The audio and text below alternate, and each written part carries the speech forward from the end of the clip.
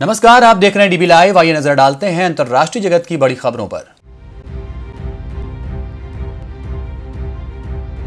बांग्लादेश के स्वतंत्रता दिवस पर पीएम मोदी ने दी बधाई। कहा, तेज़ी से आगे बढ़े बांग्लादेश के लोग।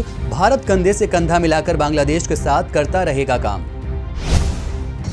गिलगित बाल्टिस्तान को अलग प्रांत बनाने पर पाकिस्तान की ब्रिटेन में थू थू ब्रिटेन की संसद ने पाक के खिलाफ निंदा प्रस्ताव पास कहा। भारत का हिस्सा है गिलगित बाल्टिस्तान, पाक ने किया अवैध कब्जा। अमेरिका और भारत के बीच रणनीतिक रक्षा संबंध होंगे गहरे।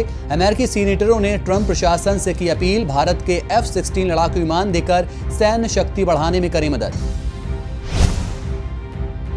भारत तक पहुँची अमेरिकी राष्ट्रपति ट्रंप की विदेश नीति की आज अमेरिका की दो सौ इकहत्तर गैर कानूनी प्रवासियों की लिस्ट भारत को मंजूर नहीं, कहा बिना जाँच के नहीं होगी प्रत्यर्पण की तैयारी।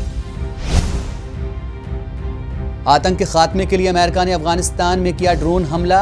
अमेरिकी ड्रोन हमले में मारा गया अलकायदा का आतंकी कारी यासीन। यासीन ने रची थी कई हमलों की साजिश। मोरक्को में गठबंधन सरकार के गठन पर सहमति। प्रधानमंत्री सादिद दीन अल ओथमनी ने कहा, पाँच पार्टियों के साथ मिलकर चलाएँगे गठबंधन सरकार।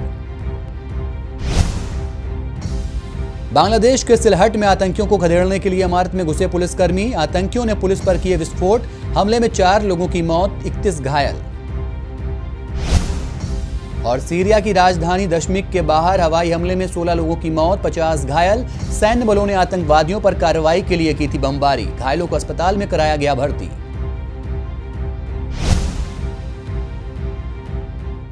ये तो वही अंतर्राष्ट्रीय जगत की बड़ी खबरें। देखते रहिए डीबी लाइव क्योंकि यहाँ खबरें लगातार।